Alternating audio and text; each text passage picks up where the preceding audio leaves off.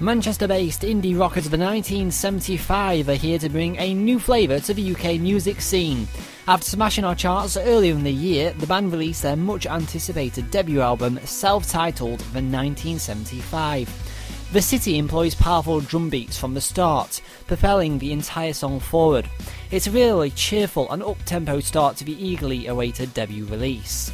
Chocolate is the album's headline single, having had massive radio attention in summer 2013. The song uses a lovely upbeat guitar riff on repeat throughout the entire track. And Matt's vocals work nicely within this mixture of guitar licks and rhythm. Sex, like the track Girls, looks back at the troubled teenage years of finding love.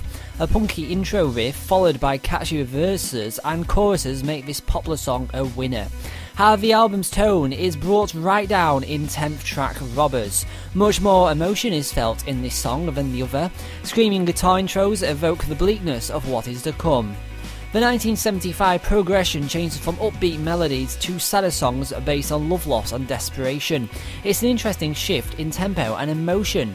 The 80s vibe felt throughout the 1975 is a refreshing change to much of the new indie rock out today. I'm loving their sound, and with numerous UK festivals under belts for this summer, a lot of people will be thinking the same. New, cool, and hitting the spot nicely. 4 out of 5, good.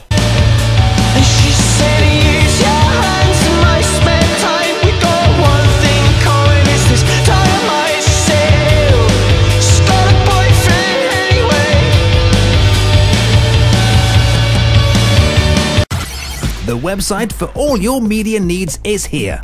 For reviews and trailers on the latest games, music, or films, visit mediapick.co.uk. Smile